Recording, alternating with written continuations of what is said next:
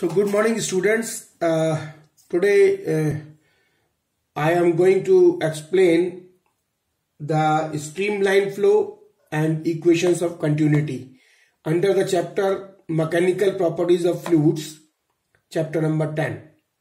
So now uh, as uh, you might be knowing that fluid mechanics is divided into two categories fluid statics and fluid dynamics. Fluid statics when the fluid is at rest. In fluid statics, we study the fluid when the fluid is at rest. And in fluid dynamics, we study the fluids when the fluid is in motion. Now, what is streamline? This is very important point. What is streamline? The path covered by a fluid particles is known as streamline. यानी जो fluid flow करता है, और उस flow करने, जो fluid flow कर रहा है तो जो वो पाथ कवर कर रहा है that is known as stream line the path covered by a fluid particles is known as stream line and the flow of liquid is categorise into two types that is steady flow and turbulent flow so what is steady A steady flow is achieved when the velocity of the flow of liquid is low. जब liquid flow की velocity कम होती है तब ही उसी case में जो है वो हम स्टडी फ्लो को अचीव कर पाते हैं and turbulent flow when the velocity of flow of liquid exceeds a certain limiting value called critical value the liquid flow becomes zigzag. This flow is known as turbulent flow. तो उस case में जब velocity flow की जो है, वो एक critical velocity मतलब एक सर्टेन वेलोसिटी जिसको क्रिटिकल वेलोसिटी का नाम देते हैं, उससे जब ज़्यादा हो जाती है तो लिक्विड फ्लो कैसा हो जाता है? Zigzag haphazard random irregular and this flow is known as turbulent flow so there are two types of flow steady flow and turbulent flow तो स्टडी फ्लो तब होता है जबकि स्पीड जो है वो लिक्विड फ्लो की कम होती है। जब स्पीड लिक्विड फ्लो की एक सर्टेन वैल्यूटी यानी क्रिटिकल वेलोसिटी से ज़्यादा हो जाती है तो उसका जो लिक्विड फ्लो जो है वो जिग हो जाता है। And that is known as turbulent flow now the the flow the path of the the path covered by a fluid particles under the Steady flow is known as streamline under steady flow and the path covered by a fluid particles under the turbulent flow is known as streamlines under turbulent flow. So now this streamline we will understand with an example uh, that suppose when a water tap is turned on यानी एक water tap water tap जो है वो उसको आपने on किया। And you turn it on slowly धीरे धीरे वाटर टैप को आपने खोला। So when a water tap is turn on slowly the water flow is smooth initially तो क्या होगा? इनिशियली जो है वो flow of water will be smooth but loses its smoothness when the speed of the flow is increase और जैसे जैसे इसकी टैप को हम खोलते जाएँगे, स्पीड बढ़ती जाएगी फ्लो की।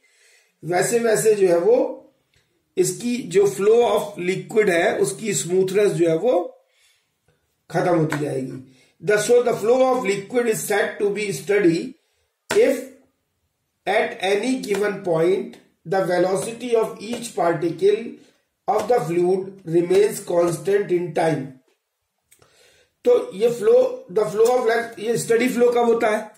स्टडी फ्लो कब होगा? Now if you take an example if we take steady flow का एग्ज़ाम्पल क्या होगा? सपोज़ अगर हम एक एग्ज़ाम्पल लेते हैं कि ये स्टडी फ्लो का एग्ज़ाम्पल स्टडी फ्लो कब होगा? So the flow of liquid fluid is set to be steady if at any given point the velocity of each particle of the given fluid remains constant. यानी steady flow उस समय होगा जबकि किसी भी एक पॉइंट पर जितने भी पार्टिकल्स हैं, उनकी वेलोसिटी अगर सेम है किसी पर्टिकुलर टाइम पे तो वो स्टडी फ्लो कहलाता है। So now what is steady flow the flow of liquid is set to be steady if at any given point, the velocity of each particle of the fluid remains constant in time. यानी जब कोई fluid कोई flow कर रहा है तो किसी particular time पर पर्टिकुलर पोजीशन पर पर्टिकुलर पॉइंट पर, अगर सारे पार्टिकल्स की वेलोसिटी अगर सेम है तो वो स्टडी फ्लो कहलाएगा। This does not mean that the velocity at different points in the path of the flow is same लेकिन इसका मतलब ये नहीं होगा। मान लिया जाए किसी पॉइंट की वेलोसिटी या इस पॉइंट पे देखते हैं अगर हम। तो इस पॉइंट पे किसी टाइम पर सारे पार्टिकल्स की वेलोसिटी जो है वो सेम होनी चाहिए स्टडी फ्लो के लिए। लेकिन इसी ये पार्टिकल जब यहाँ पहुँच जाएगा तो इसकी वेलोसिटी जो है वो चेंज हो सकती है, लेकिन यहाँ पे जितने भी पार्टिकल्स होंगे, उनकी वेलोसिटी जो है वो सेम होगी। So there is a difference कि this doesn't mean the velocity at different points in the path of flow is same the velocity of a particle particular particle में change at it as it move from one point to another जब इस इस particle की velocity यहाँ पे अलग हो सकती है। लेकिन यहाँ पे जितने पार्टिकल होंगे, उनकी सबकी वेलोसिटी सेम होगी। It mean that at some other point the particles may have a different velocity but every other particle which pass the second point behave exactly the same as the previous particle that has just pass that point each particle flow a smooth path and the path of the particle does not cross each other and this is known as a steady flow. So now now come to the important point. This is equation of continuity. So now we will prove this equation of continuity. Equation of continuity, let us consider that PQ is the path of the flow of the liquid. Suppose this PQ जो है वो it is the path of the flow of liquid है. And PQ showing the one streamline and this is showing the one streamline. Because what is streamline? Streamline is the path of flow of liquid. So this is one streamline. And this is under the uh, steady flow. If two streamlines cross, अच्छा two no two stream lines can cross each other if two stream lines cross each other then oncoming particles of the fluid will follow the some other path and the flow would be not be steady तो अगर ये जो दोनों lines है, दो stream lines एक दूसरे को कभी नहीं काटेंगी। क्यों? क्योंकि अगर काटेंगी तो उस पर जो दो डायरेक्शन होंगी। और दो डायरेक्शन मतलब दो फ्लूड की डायरेक्शन होंगी which is not possible in case of steady flow now Here the number of fluid particles crossing the surfaces as indicated at, so suppose P, Q and R. There are three surfaces, P surface, Q surface and R surfaces and the number of particles crossing the surface P is equal to the number of particles crossing the surface R is equal to the number of particles crossing the surface Q. Now if the area of cross section if area of cross section at these point are if AP is the area of cross section area of cross section and AP AR and AQ AP AR and AQ are the area of cross section. And speed and speed Vp vp is the speed of fluid particles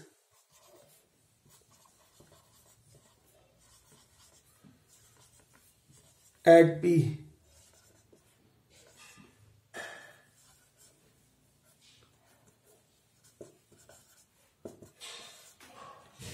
and we are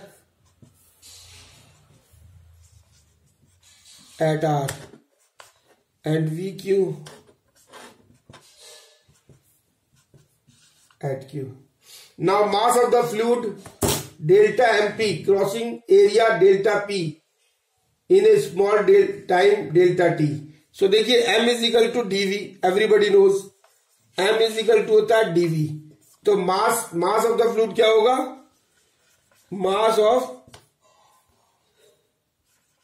mass of fluid mass of fluid क्या होगा? DV DV मतलब अगर हम इसको निकाले mp को. Delta mp तो delta mp को निकालेंगे तो ये हो जाएगा rho p into vp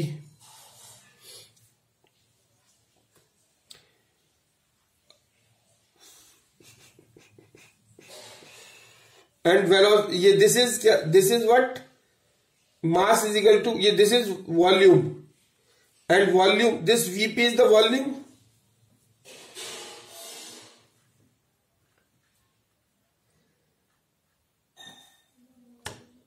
this is density this is volume. And this vp is equal to ap into distance. This volume is equal to AP into distance. AP into distance.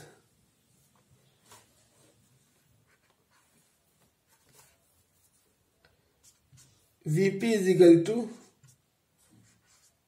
AP into distance. This is AP into distance. So now delta MP delta mp is equal to rho p into ap into distance this is volume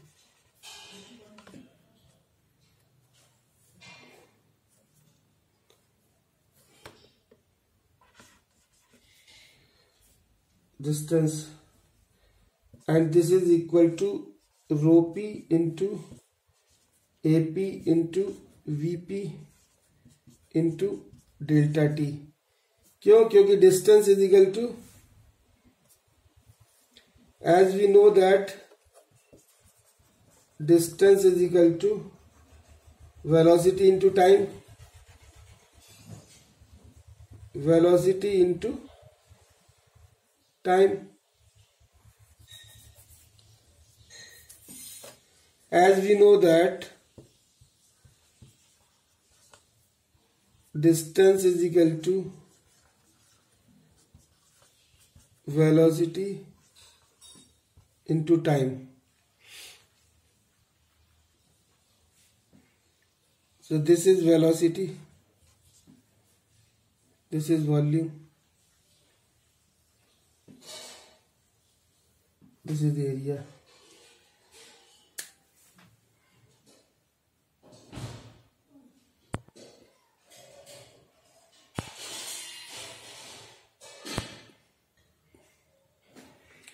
So now uh, similarly mass of fluid crossing at area AR in time delta T is given by M is equal to dV mass is equal to density into volume.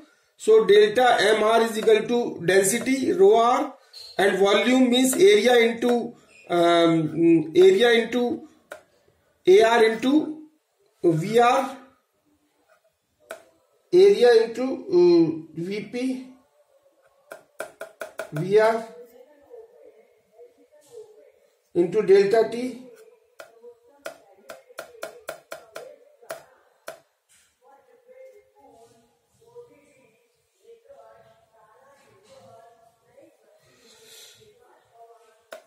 area into volume into delta T.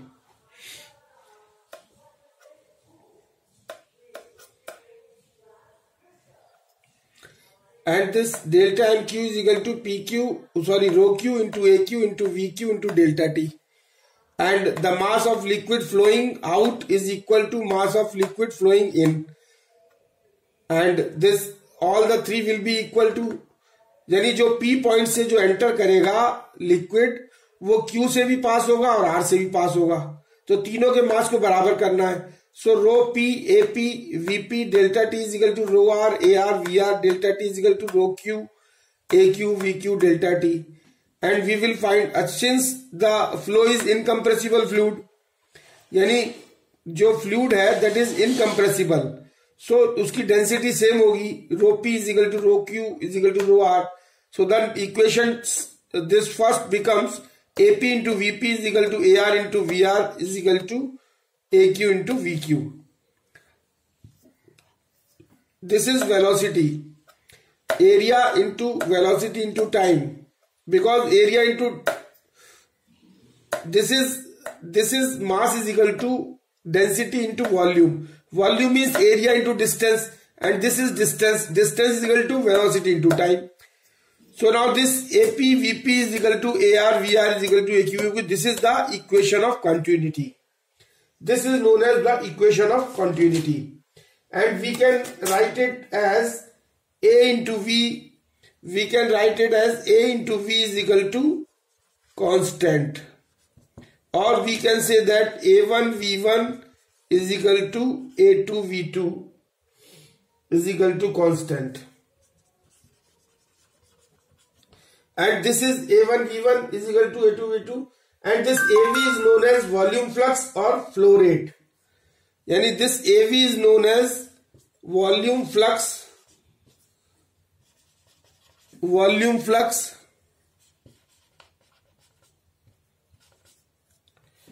this is known as volume flux or flow rate this AV is known as. So this is all about the equation of continuity